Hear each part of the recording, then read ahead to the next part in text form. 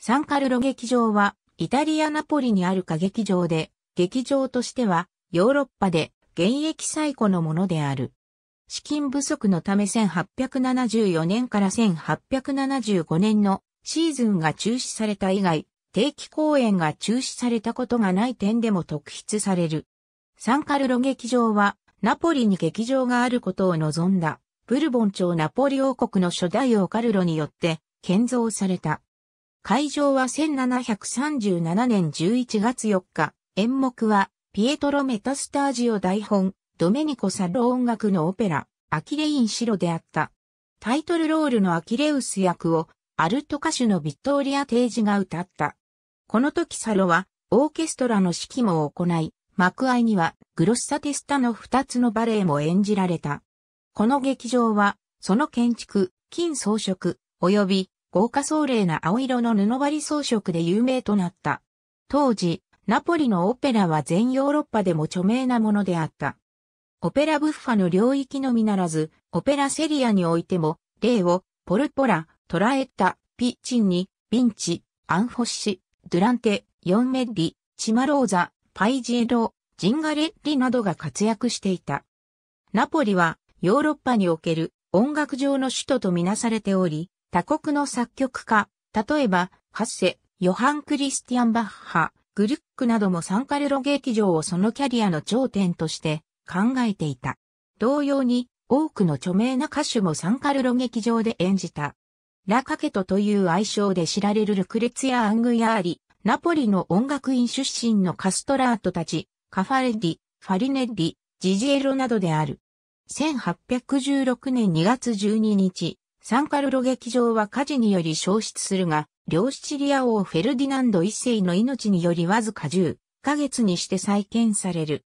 現在の建築は、この再建建築と基本的には同一であり、変化はベルディの提案したオーケストラピットの設置、電気照明の導入及び中央シャンデリアの撤廃、入り口ロビー並びに楽屋棟の建築に限られている。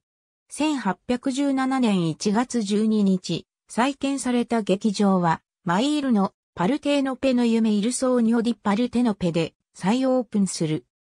スタンダールは、この公演の2嫁を聞いており、ヨーロッパのどこにも、この劇場に比べうるどころか、この劇場の素晴らしさの足元に及ぶところも存在しない。ここは人の目を幻惑し、ここは人の魂を狂気させると書き記している。1815年から1822年まで、ロッシーニはこのサンカルロ劇場を含めた、ナポリ王国すべての王立オペラ劇場の劇場付け作曲家、兼音楽監督であり、9つのオペラがこの時期書かれた。イングランドの女王、エリザベス、オテロ、アルミーダ、エジプトのモーゼ、古城の美人、ゼルミーラなどである。この時期に定期的に出演していた著名な歌手は、マヌエル・ガルシア、その娘マリア・マリブラン、ジュディッタ・パスタ、イサベラ・コルブラン、ジョバンニ・バティスタルビーニ、ドメニコ・ドンツェッリなどである。またテノールの高音を競った有名なフランス人二人、アドルフ・ヌーリとジルベール・ルイ・リュプレも出演している。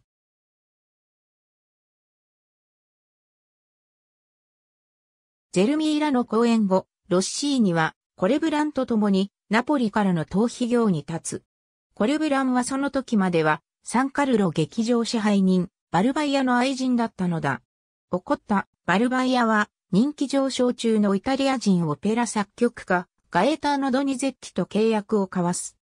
ロッシーニと同様に、ナポリ王国、王立オペラ劇場付作曲家、兼音楽監督となったドニゼッティは、ナポリに1822年から1838年まで滞在、この劇場のために16のオペラを書いた。マリア・ストゥアルダ、ランメルモールのルチア、ロベルト・デブリュー、ポリウトなどである。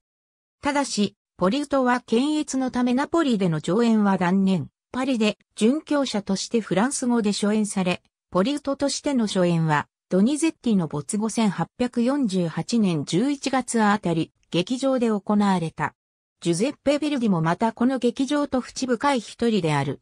必ずしも彼の傑作とは言い難いが、アルツェラ及びルイザ・ミラーはサンカルロ劇場のために書かれた作品である。仮面舞踏会も本来はこの劇場のためのオペラだったが、スウェーデン国王が暗殺されるという筋書き自体が、王国であるナポリでは検閲で不許可とされ、舞台をアメリカ・ボストンに、初演地もローマに変更しての公演となった。20世紀に入って、サンカルロは革新的な支配人、アウグスト・ラグーナを迎える。彼は1920年からの10シーズンをすべてワーグナー作品で開幕するという当時のイタリアでは異例のプログラムを組み、またリッカルド・ザンドナーイ作曲、ガブリエーレ・ダンヌンツヨ脚本のオペラ、フランチェスカ・ダリミニなどの新作オペラの初演にも熱心だった。第二次世界大戦で大きな損害がなかったことも幸いして、サンカルロ劇場は戦後いち早くイギリスへの引っ越し公演を行うなど、オペラ劇場としての機能を回復した。その革新的伝統は戦後も継続し、例えば、アルバンベルクのボツックのイタリア初演などが行われている。2005年には日本への引っ越し公演も行われた。Achille in Sciro、Corago、http コロンスラッシュスラッシュ corago.unibo.it スラッシュ evento スラッシュ0003593888ありがとうございます。